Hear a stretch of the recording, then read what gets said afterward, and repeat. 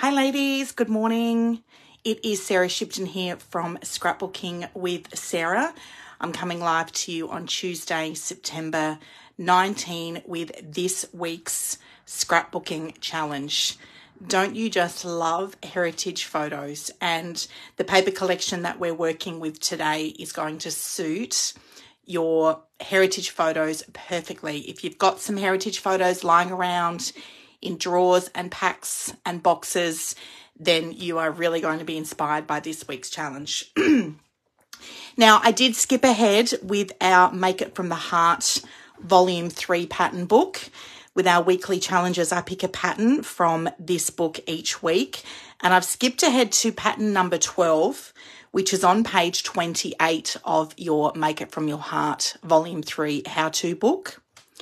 Now you can see here with the pattern that this section through the middle of the layout here, this goes all the way through the middle of the layout, three inches down, and it's incorporating three by four inch photos, journaling boxes, and a little pocket scrapbooking card. If you look um, in the comments of my layout yesterday, Jenny Tyson um, has this book at home and she's actually already created this week's scrapbooking weekly challenge. Well done, Jenny. But you can see she has actually laid her layer out the way the pattern was intended with two portrait photos here on the right hand side. I have used here, I had an 8 by 10 inch photo. Excuse me. I had an 8 by 10 inch photo here um, and I had this 4 by 6 inch photo. So instead of having six 3 by 4 inch blocks, I've used these two photos. So the great thing that I love about the scrapbooking patterns is you can mix it up. You have to do math. It's so funny when Kayla started scrapbooking, she was like, I didn't think I was going to be doing math at scrapbooking. But you can actually um, replace the photos with ones that suit your layout. You could also do three portrait four by six inch photos here if you wanted to. So it's entirely up to you. Um, so that is pattern number 12 from this week's scrapbooking challenge. so the papers that I've used, girls, for this week's scrapbooking challenge are the mix-in paper packs. So the mix-in paper pack is in every two-month catalogue and the thing that I love about the mix-in paper pack is that the colors and the patterns actually mix in with the other two featured paper collections in the book. So this month we're working with paper collection The Good Life for September. And then next month in October, we're going to be working with paper collection Home for Christmas. You've got your color palettes along the top here for your paper collections. And then every month in the two, oh, sorry, every two months in the catalogue, we feature a mix in paper pack. So you can see that these patterns and these colours are going to suit the colour palette for both of your paper collections in your mini catalogue, which I absolutely love. Now, the thing with your mix in paper pack, I've actually got one here. So let's pop this to the side. And you can see here, I've only used two four inch strips of paper on this layout. So this is a great layout if you don't have a lot of paper left over from a paper pack. So the mix-in paper pack only has six sheets of paper. There are different designs on each sheet of paper here. And last night I realized that I really need to get two packs of mix-in paper pack with each new catalogue that comes out. The reason for that being is that if I wanted to do a double page spread, it can make it a little bit tricky if the pattern I require is matching pieces of paper. So I did actually want to do a different pattern this week, but I didn't have enough of the mix-in paper pack in order to do that. And then when I saw the, the pattern that we ended up doing, it worked perfectly for the photos.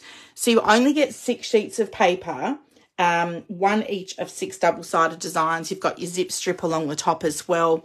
And then, of course, there is a coordinating cardstock pack to go with the mix-in paper pack as well. The thing I love about the mix-in papers is they're typically textured.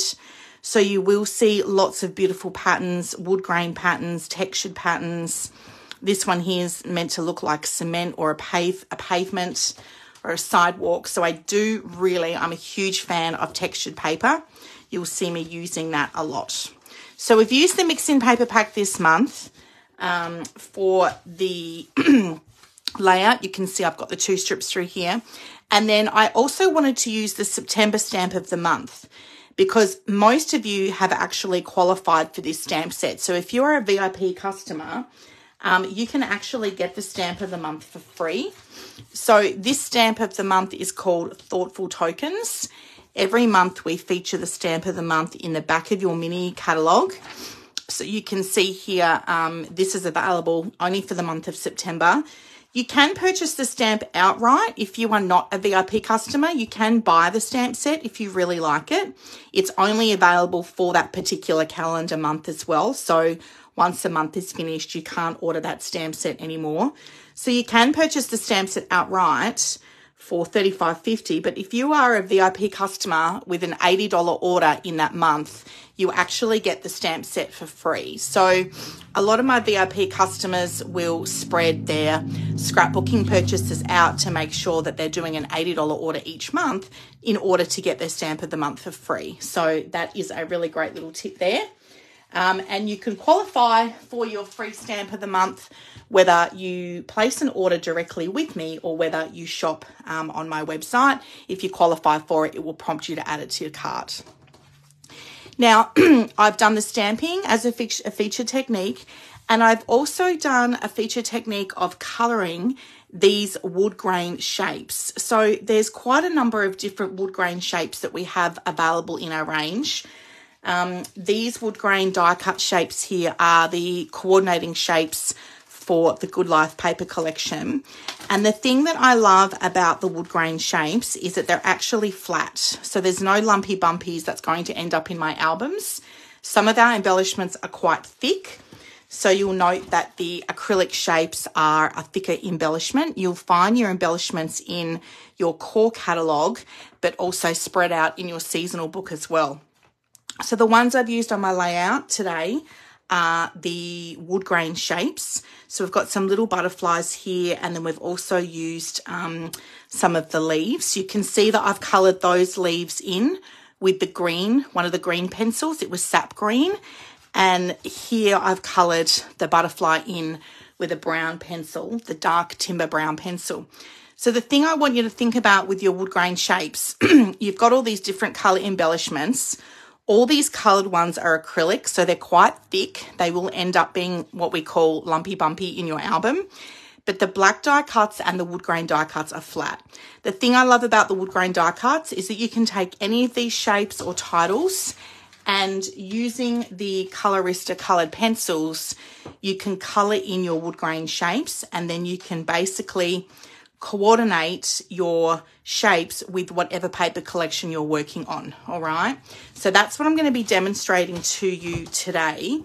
These Colorista coloured pencils are actually new to the range.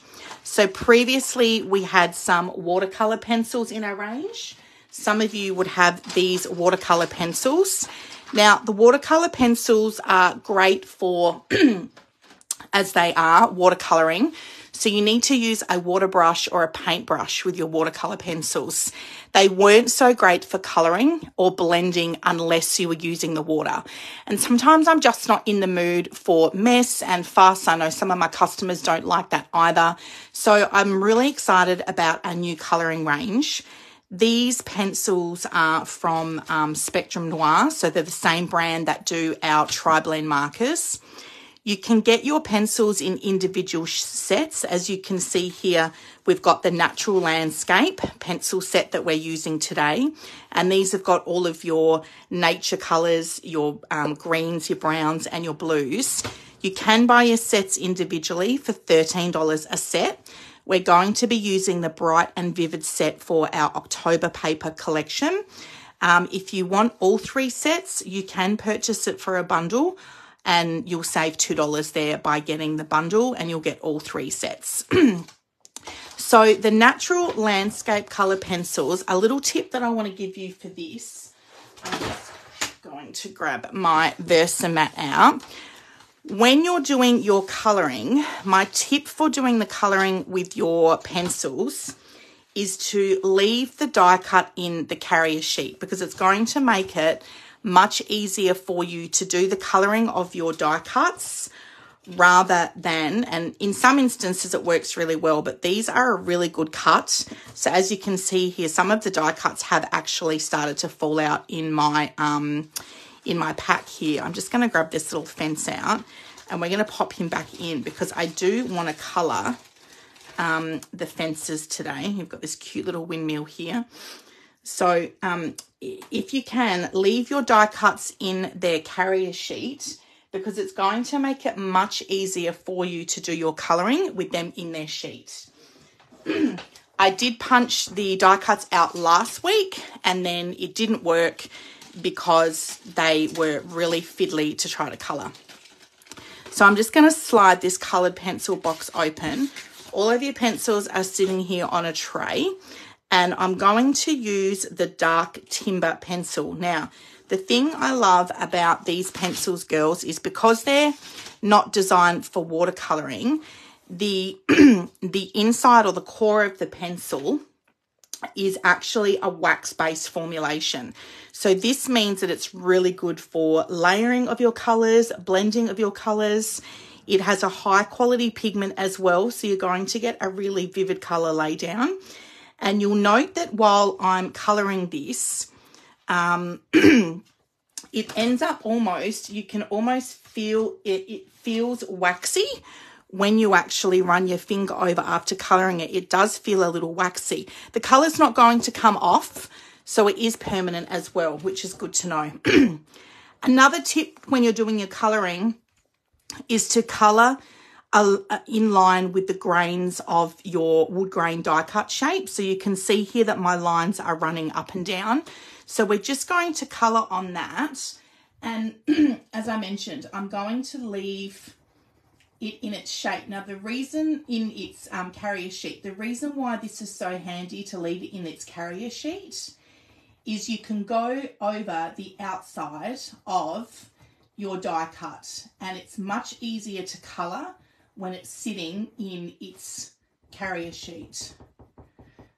Okay, so we're just going to colour over this. the other thing that's really handy to do as well with your pencils, girls, is if you're trying to match up your colours, what you can do is actually colour a little bit on the outside and then line that up next to your paper to see the colour match. So I did this with the die cut shapes for our weekly scrapbooking challenge. I actually tested out a few of the different greens to see which one would be better coordinating with the green paper I've used from my mix-in paper pack. Now, this is proving to be, I'm going to start on the outside here. So in terms of your colour, depending on the pressure that you are applying, you can do a really light colouring if you don't want it to be too heavy. Or you can apply pressure with your pencil and obviously the colour will come out a little darker. So it's really up to your preferred taste, but I do love that you've got these wood grain shapes that you can turn into any colour you want with the pencils. Now I think this middle bit I'm going to colour from side to side and hopefully that won't look too obvious. If not, we can colour over where the colour's going to meet because it was a little bit trickier to colour that middle bit. I might have to go like this in individual strokes.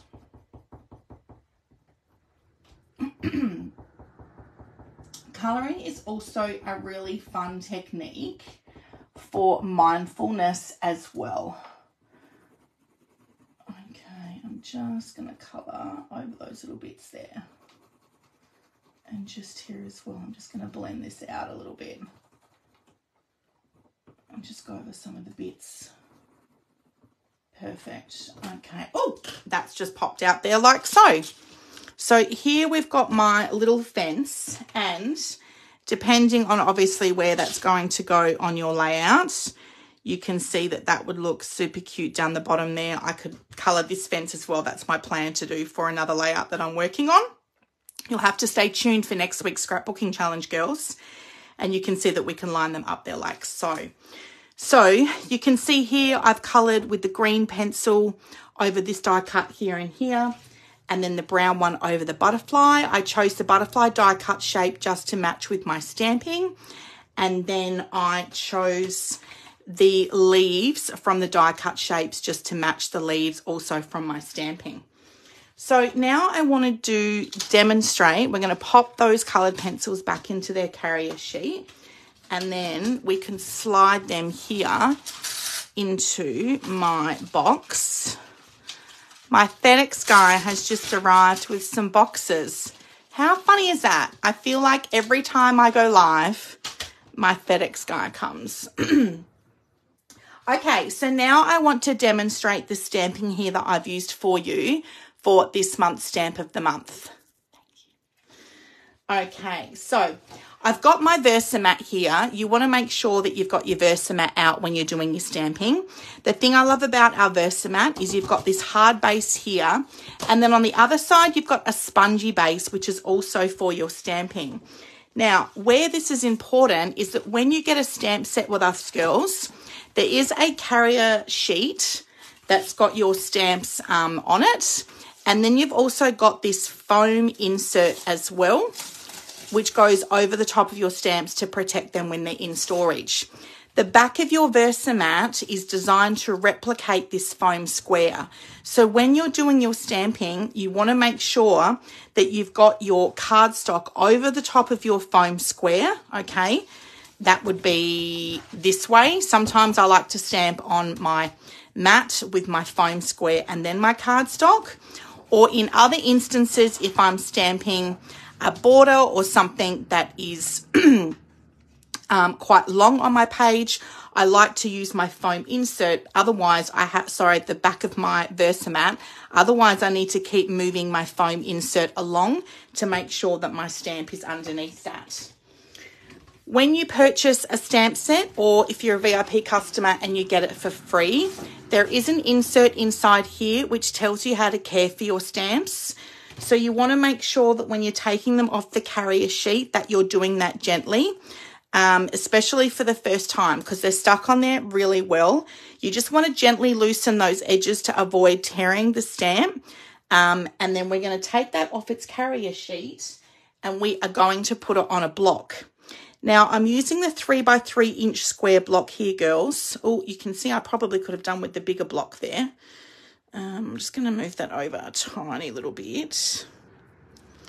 Okay, I probably could have done with the bigger block there. To help you decide which size block you need for your stamp set, every time you get a stamp set, girls, you just want to reference in your catalogue. It will tell you what size blocks you need for your stamp set.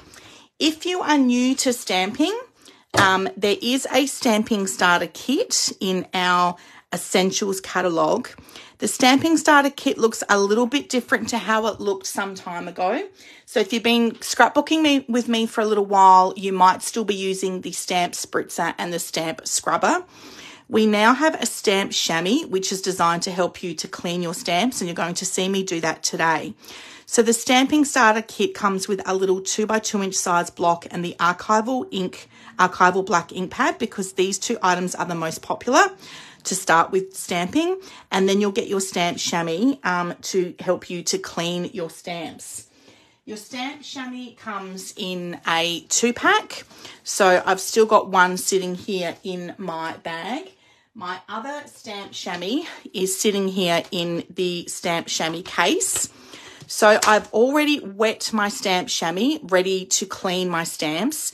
You're just going to run your chamois under cold water, running cold water until the chamois is wet. You'll squeeze that excess water out and you can see I leave mine sitting here in my stamp chamois case. We never had a case for the stamp chamois. And then, so people were wetting their chamois and they were like, what am I supposed to do with this while it's damp? And so Close to My Heart manufactured a, an organizer for that for you to leave that sitting in and drying. So it dries out flat so it doesn't get all manky and smelly.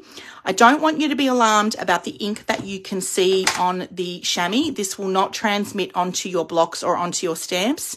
This is one that's been used quite well for cleaning. And so you can see when I'm ready to throw that one out, I've got my second stamp chamois here. Some of my customers even have one stamp chamois that they use for their water-based inks, and then they use their second stamp chamois for their pigment inks, um, which is actually a really good decision. So I'm just going to sit that to the side there, ready for when I need to clean my stamp. So for those of you that are still using the stamp spritzer and the stamp scrubber, once the spritzer that you've got um, finishes, that was a specially formulated conditioner to help you to clean your stamps. Once that's finished, you'll need to transfer to the stamp chamois because the spritzer is no longer available um, for sale and we are just using the stamp chamois now to clean our stamps just with plain water. Okay. So what I'm going to do here, I've got my cardstock here on my Versamat. I've got my stamp on my block ready to go. Before you use your stamp for the first time, you can condition that by inking it up and then stamping it on some scratch paper. Or funnily enough, when Close to My Heart started here 10 years ago, they showed us to condition the stamp by rubbing it on the inside of our arm like that. And it's just a habit that I've got into there. You want to condition your stamps so the ink will transfer evenly, okay? Um, and I'm going to use the Toffee ink pad today to do my stamping. So this is one of the coordinating colours with the mix-in paper pack that I've used on my scrapbooking layout today. And it's also a colour that coordinates with this month's featured monthly paper collection, The Good Life. So the stamp pads come in 40 different colours. They are a magnetic case, so you can see that open up really easily.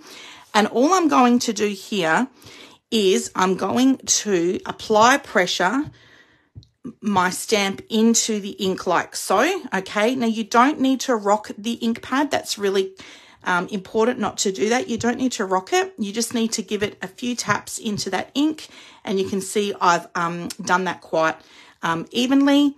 Um, the first time you use it, you might want to rub it over the base of your ink pad. So twisting that there, but you want to finish with a tap so your ink is not smudged. And all we're going to do here now is apply pressure and I'm going to stamp that down onto my cardstock. You've actually got grooves on the inside, on the outside of your block here, so that will help you to hold your stamp block really well. And you can see by applying pressure, making sure I've got either my foam square underneath or the reverse side of my Versamat, applying pressure onto that. And you can see I've got a really nice stamped image there. To clean my ink pad, I've got my wet stamp chamois here. So I'm just going to take that out of its carrier case and I'm just going to wipe that chamois over my stamp, okay?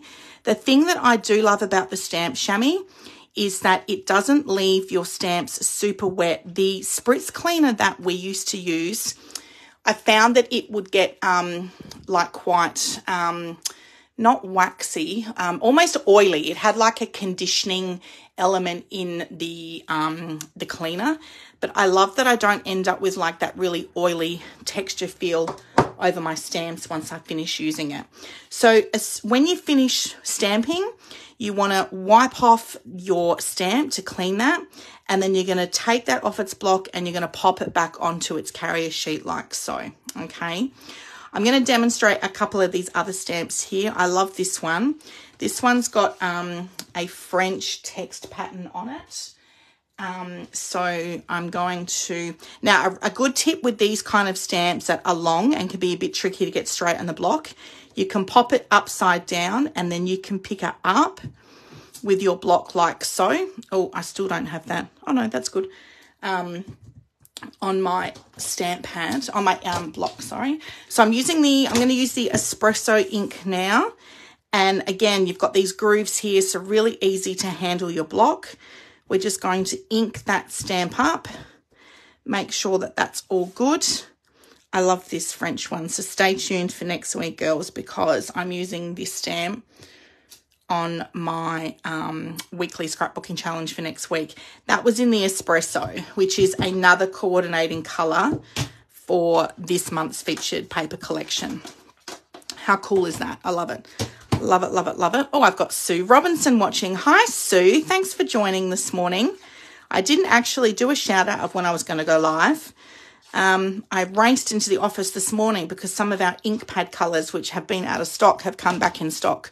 So I quickly raced in to do an order this morning and grab them before they left again. So I'm cleaning my stamp and I am popping that back on its carrier sheet. And then I'm just going to demonstrate the camera one because I have used the camera one in my layout here. So I've got single rows of the um, camera film under the three inch of the photo. I actually stamped this first and then put the photo around it. And I have two rows here because I'm going to be honest with you. I stuffed up the um, page and then I decided to pull it up and start again. And then I've ended up using that on my right hand side page. So I've got one row on the left and two rows on the right, but it doesn't matter. It looks awesome. I think the really cool thing about your heritage scrapbooking as well is that because it looks um, so old world and rustic. It doesn't kind of really matter when things are a little bit higgledy-piggledy. Alrighty, so I'm using the espresso ink again. And then with these longer ones, a good tip to ink these up is just to run it along the ink pad like so. Okay, I've got that inked up really nicely. And I think I'm going to stamp this um, through here. And then I might actually cut that off and use that for a layout so I'm just going to apply pressure. So you can see because this is a long stamp, stamping on the back of my Versamat is much easier than getting my foam square and then actually continually trying to move that along um, the cardstock. Because this is 12 by 12 underneath, I'm getting a really nice even base there to stamp on. I'm just wiping that excess ink off, just running that down the edge of the stamp. Um, leave that sitting in my case there. I very rarely put my lid on my stamp chamois case, I have to admit. Obviously, if I'm transporting it between workshops or going on retreat, I will pop the, the lid closure over. But my preference is to actually leave that solid base sitting underneath the open base the other night I closed the lid over and I left it sitting face down with that open. And the next morning when I lifted that up, I had all this condensation on my table from where the stamp chamois was obviously breathing through the outside here. So I leave mine sitting in that harder case overnight um, while it's drying out. So I've cleaned my stamp. I'm popping it back on the carrier sheet and then I'll pop my foam square over the top of that like so and then I'll slide that back into my